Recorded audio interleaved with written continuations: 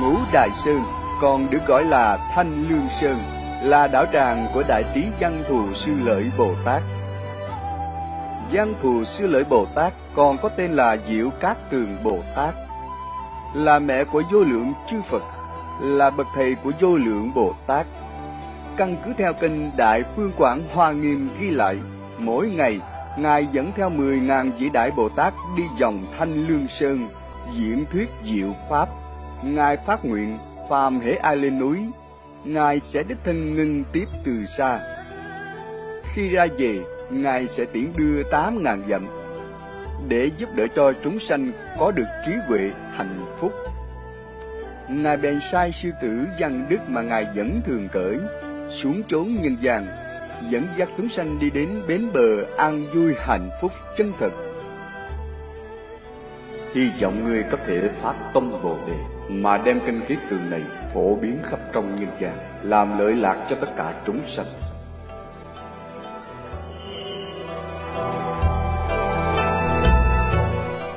Dạ, con y giáo phụng hành.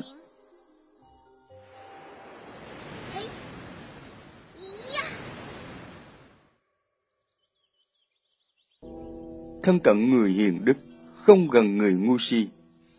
Có ai ở đây không? Giúp tôi với. Ôi da. Lên đường với tinh thần như vậy, thật là tệ quá đi. Ây da, có ai ở đây không? Giúp tôi với.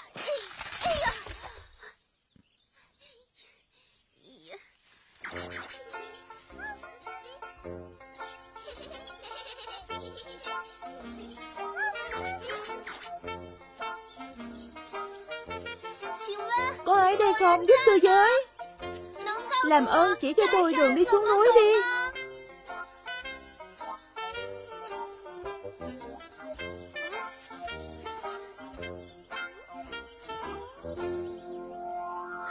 Xem ra có người cần giúp đỡ kìa.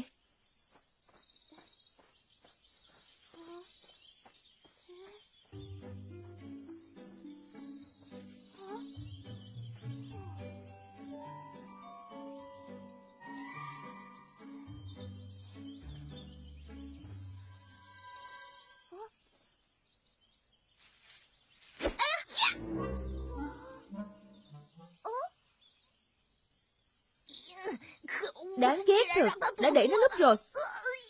Đau quá. Anh Thỏ, Vì sao anh tập kích tôi vậy? Tại sao không hả? Ta đâu có ngu, đợi ngươi đến cắn ta trước. Ta không phải ngu xuẩn như vậy. Anh bị thương rất nặng thì Để tôi giúp anh nha. Không cần ngươi giả tốt bụng đâu. Tôi biết sư tử các ngươi thích ăn thịt thỏ mà. Anh yên tâm đi Tôi không có ăn thịt.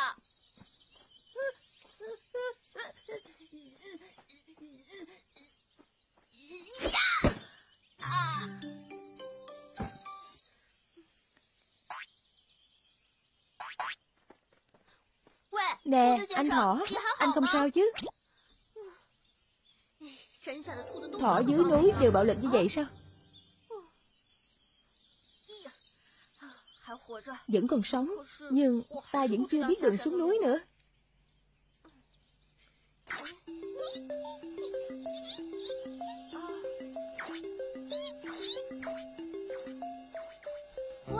Wow, cảm ơn các bạn nhé.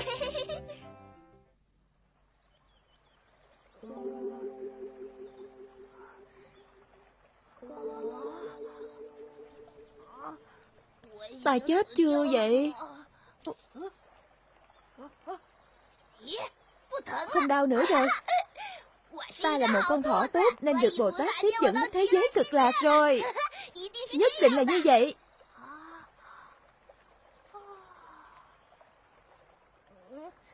Nhưng xem ra thế giới cực lạc này không khác gì nhân gian cho lắm.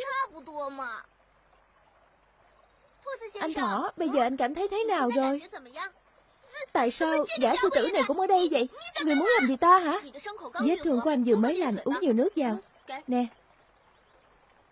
Là Là anh đã giúp tôi trị lành vết thương hả? Cho nên tôi không chết đúng không? Đương nhiên rồi. Nói vậy là anh đã cứu tôi hả? Đúng rồi, tôi là con sư tử văn đức của văn thù Bồ Tát gửi. Bồ Tát để cho tôi đến thế gian giúp đỡ chúng sanh. Sao anh không chịu nói sớm? Nói sớm tôi đã không tập kích anh rồi. Anh cũng không cho tôi cơ hội nói mà. Thảo nào vết thương của tôi mau lành đến như vậy, Thì ra là nhờ lực gia trì của Bồ Tát. Cảm ơn anh. Gọi tôi là Thấu Tường Đừng khách sáo mà. Theo tôi quan sát, vết thương của anh là do bị sói cắn đó. Không sai, Chính là sói xấu xa độc ác đó cắn tôi. Kể cho tôi nghe xem nào. Được. Lúc tôi nhổ củ cải quay về Thì gặp một con sói. Thông thường, thỏ thường sợ sói mà. Thế là tôi chạy. Sau đó tôi phát hiện trên chân con sói Bị một con vật cực to kẹp vào. Con sói đó dùng mọi lời lẽ cầu xin tôi giúp lấy nó. Nó nói chúng tôi sẽ làm bạn suốt đời. Tôi mềm lòng giúp cho nó. Kết quả nó lại muốn ăn thịt của tôi. Còn mai là tôi thông minh lanh trí chạy nhanh đi. Nếu không thì Hắn đã ăn thịt tôi rồi. May mắn là tôi biết khôn lanh, chạy đi đó. Cứu mạng chúng sanh công đức vô lượng. Nhưng con sói đó ngu muội, ích kỷ, không biết báo ơn, Không thể kết bạn cùng nó. Bạn nói đúng đó, Không thể kết bạn với kẻ ngu si như vậy. Tôi có một câu chuyện muốn kể cho bạn nghe. Nói chính xác là tôi muốn mời bạn đến thế giới cổ tích du lịch. Thế giới cổ tích du lịch hả? Đúng, chẳng qua là chuyện này cần phải nhờ văn thù Bồ Tát giúp đỡ, cho nên chúng ta cùng xưng niệm văn thù Bồ Tát tâm chiếu, Thỉnh Ngài đem chúng ta đến thế giới cổ tích du lịch. Được, được, được. Bạn mau dạy tôi phải làm như thế nào đi. Được. Vậy tôi niệm một chữ, bạn niệm theo một chữ nha. Được. Um ha ra pa sa na hi. Um, a ba sa na a na Ông a la ba sa na di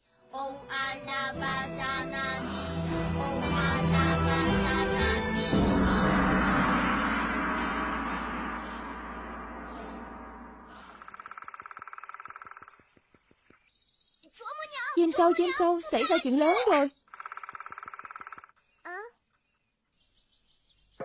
Là thỏ trắng hả? Đã xảy ra chuyện gì vậy? Mà bạn hốt quảng vậy? Vua sư tử hiện giờ không khỏe. Vua sư tử bị làm sao vậy? Ông ta đánh nhau với sư tử khác à? Không phải không phải. Nói như vậy nè Như vậy nè. Sau đó là như thế này nè Thế này nè. Rồi anh ta làm như vậy nè. Thỏ con mau dừng lại đi. Tôi hoàn toàn không hiểu thỏ đang nói gì nữa. Dầu sao thì chim sâu cũng mau đi đi. Sư tử nói nếu chim sâu không đến Ông ta sẽ xé xác tôi đó Chắc chắn rồi ông ta sẽ làm chuyện đó. Tôi không quan tâm, tôi không quan tâm. Tôi đã đưa tin đến rồi. Tôi đi trước đây. Thôi được. Bây giờ ông cổ thụ cảm thấy thế nào rồi? Hy vọng mấy con sâu đáng ghét đó không đến gần ông Dày dò ông.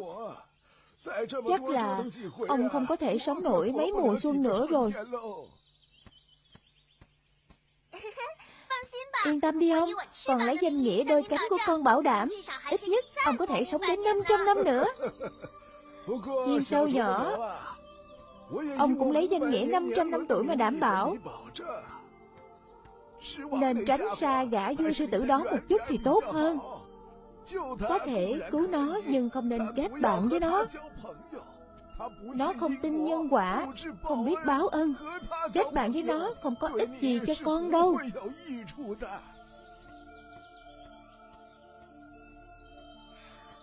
Được rồi, bác. Bây giờ con phải mau đi thăm vua sư tử đây. Nói không chừng, vua sư tử thực sự đang rất cần con đó. Nhớ, Đừng để nanh nhọn của hắn đến gần con nha. Ông vẫn còn cần con trị bệnh giúp cho ông lắm. Yên tâm đi ông. Con bảo đảm với ông. Tạm biệt ông. Hy vọng Bồ Tát bảo hộ nó.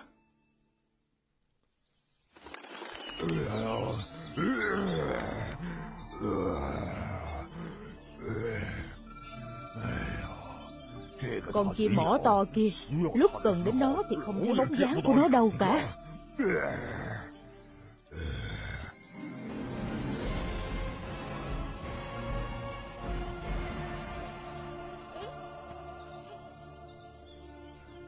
Đại Dương làm sao vậy? Sao lại gầy ốm đến thế này? Bạn thân yêu của ta, Tha lỗi cho ta không thể đứng dậy ôm thánh tiếc Ta bây giờ đau khổ chết đi được. Miệng bị hỏng rồi. Xương thù mắc trong cổ họng của ta Ta nôn cũng không nôn ra, Nuốt cũng không nuốt được. Hại ta mấy ngày nay không ăn không uống được. À thì ra là vậy. Mau giúp ta lấy cái thứ tai hại đó ra khỏi họng đi, Bạn thân ái của ta. Anh mở miệng to ra đi để tôi xem cho. Con không nên đến gần nanh nhọn của hắn. Người anh em tốt, giúp ta đi nào. Chỉ cần người giúp ta lấy cái thứ tai hại đó ra khỏi cổ họng của ta Ta nhất định sẽ báo đáp cho ngươi. Sau này chúng ta sẽ là anh em ruột. Đại Dương, lần này tôi giúp cho Đại Dương. Nếu như có ngày tôi gặp khó khăn Đại Dương có giúp cho tôi không? Người nói gì vậy? Sau này chúng ta là anh em ruột mà. E rằng hồi nãy anh vừa dùng sức Xương cá mắc sâu hơn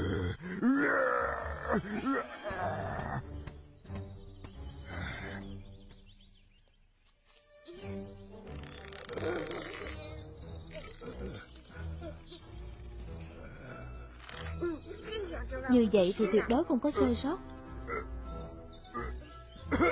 Đừng nhúc nhích ra Lập tức tìm ra xương hốc ngay thôi.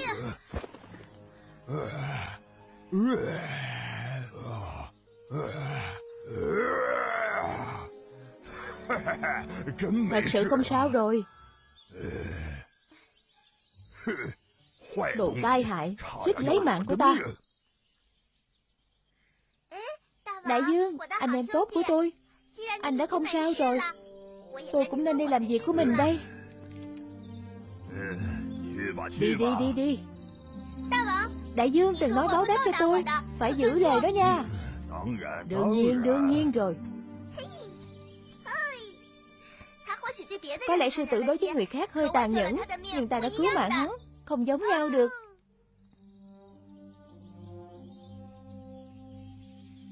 Con sâu cuối cùng cũng đã bị bắt đi rồi. Ông cổ thụ, Hôm nay ông có thể ngủ ngon rồi. Thật dễ chịu hơn rất nhiều rồi. Phải rồi, Ông nghe nói dạo gần đây, Khẩu vị của đại dương ngày càng lớn, Càng hung tàn. Còn phải cẩn thận đó. Ông cổ thụ yên tâm đi. Con từng cứu mạng hắn mà. Hắn nói là phải báo đáp cho con. Nó báo đáp, Ông không tin đâu. Được rồi, ông ơi, Con hứa với bà cây đa là xem bệnh trùng cho bà ấy. Sắp đến giờ rồi. Được được, Con mau đi đi. Cho ông gửi lời thăm bà ấy nha. Dạ Nhất định giúp ông chuyển lời tới bà ấy mà. Tạm biệt.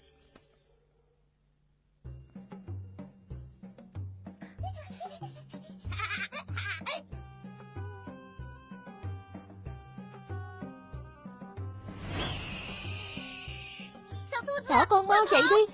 Có chim đại bàng. Chạy nhanh lên Chạy nhanh lên thỏ con. Đại bàng đến kìa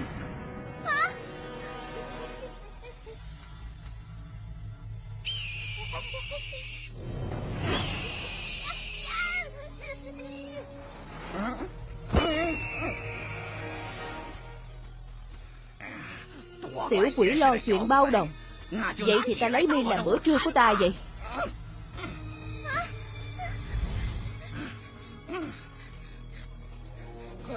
Con ơi, Hãy mau trốn vào đây vào chỗ của ông này. Đại bàng chúng ta xưng là sức nhìn đứng đầu. Các người đừng mong che giấu. Ta phát hiện ra các ngươi rồi. Ngươi không trốn thoát đâu.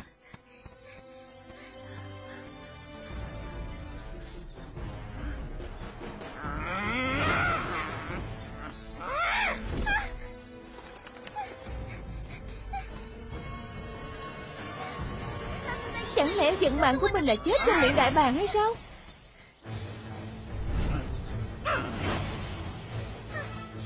Bạn vua sư tử. Đại bàng đang đuổi theo tôi. Mau cứu tôi đi. Cứu tôi. Được, Đại bàng không đấu với sư tử. Coi như hôm nay ngươi may mắn, Lần sau đừng để ta bắt gặp mi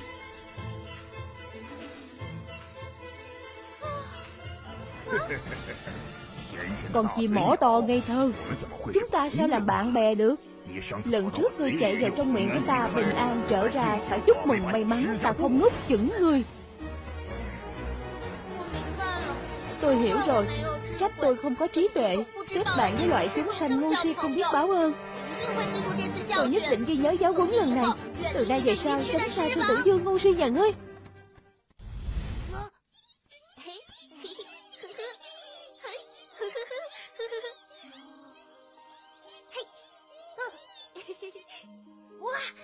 Wow, thế giới cổ tích quá đẹp và kỳ diệu. Con chim sâu đó thật là giống tôi. Thật ra, con chim sâu trong câu chuyện là tiền nhân của Thích Ca Mâu Ni Phật. Con sư tử dương không biết báo ơn là ác tỳ kheo đề bà Đạt Đa. Cái gì? Ngay cả Phật Đà cũng xích lửa cách giao với người sống hay sao? Đúng đó, chúng sanh ngu si, không tin nhân quả, không biết báo ơn.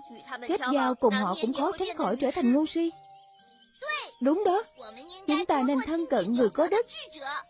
Như vậy mới có thể tăng trưởng phước báo và trí huệ. Không sai, văn thù Bồ Tát lệnh cho tôi đến thế gian phổ biến rộng rãi kinh kiết tường này để mọi người hiểu phương pháp đạt được may mắn hạnh phúc. Kinh Kiết Tường là cái gì vậy? Kinh Kiết Tường là một bộ kinh quý báu do Thích Ca Mâu Ni Phật thuyết, chỉ dẫn chúng sanh cách để được kiết tường hạnh phúc hay quá gian đức. Nếu bạn không chê, tôi tình nguyện dẫn bạn xuống núi, giúp bạn đi quẳng dương Kinh Kiết Tường.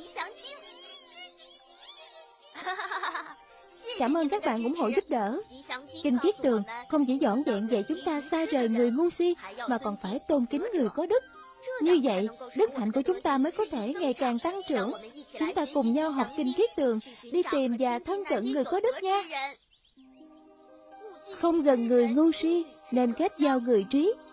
Không gần người ngu si, nên kết giao người trí. Tôn kính người có đức là may mắn bậc nhất. Tôn kính người có đức là may mắn bậc nhất. Không gần người ngu si, nên kết giao người trí tôn kính người có đức là may mắn bậc nhất. Cư trú chỗ thích hợp. Xưa kia có đức hạnh. Đi trên đường chánh đạo là may mắn bậc nhất. Học về nhiều kỹ năng, nghiêm trì các giới cấm lời nói người vui thích là may mắn, bậc nhất. Phụng dưỡng phụ mẫu thân, yêu quý vợ và con. Việc làm phải vô hại là may mắn, bậc nhất. Bố thí phẩm đức tốt, giúp đỡ các họ hàng hành vi không tỳ vết là may mắn bậc nhất. Diệt tà tất cấm ngăn, tự mình không uống rượu. Tánh tốt không dời đổi là may mắn bậc nhất. Cung kính và khiêm nhường, biết đủ cùng cảm ơn kịp thời nghe dạy pháp là may mắn bậc nhất. Nhẫn nại và thuận theo, được thấy chúng sa môn. Đúng lúc bàn tính ngưỡng là may mắn bậc nhất. Tự thanh tịnh cuộc sống, hiểu ý bát chánh đạo thập chứng pháp niết bàn là may mắn bậc nhất. Tám gió không động tâm, không lo không ô nhiễm. Yên tĩnh không phiền não là may mắn bậc nhất. Người y đây hành trì, luôn luôn không thoái chuyển nơi nơi đều được phước là may mắn bậc nhất.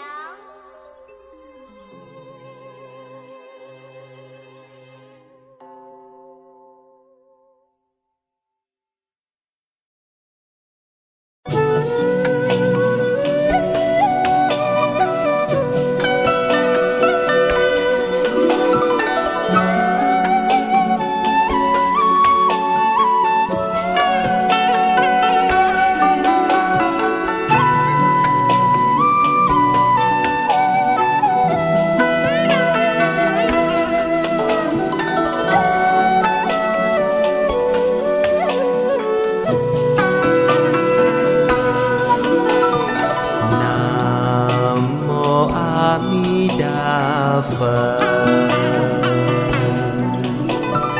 Não.